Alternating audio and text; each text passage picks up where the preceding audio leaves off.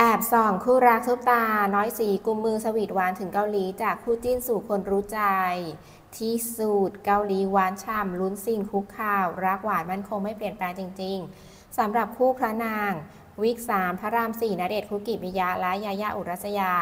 ที่คบหาดูใจมาราธอนมานานกว่า 11 ปี แต่ดีกรีความหวานความคลั่งรักไม่เคยลดน้อยถอยลงไป มีโมเมนต์น่ารักไปไหนมาไหน ด้วยกันตลอด จนแฟนคลับต่างลุ้นว่าเมื่อไหร่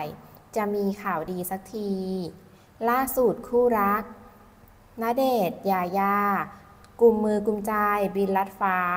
ไปเติมหวาน แก่กันและกันไกลถึงประเทศเกาหลีใต้ พร้อมหย่อนภาพคู่รัก แนบชิด เช็คอิน เดินกุมมือ เดินชิวๆกันที่ โซยอง รอยัลทอมเป็นการไปเที่ยวอย่างเรียบง่าย แต่ความรัก ความดูแลเอาใจใส่กัน ไม่มีบกพร่อง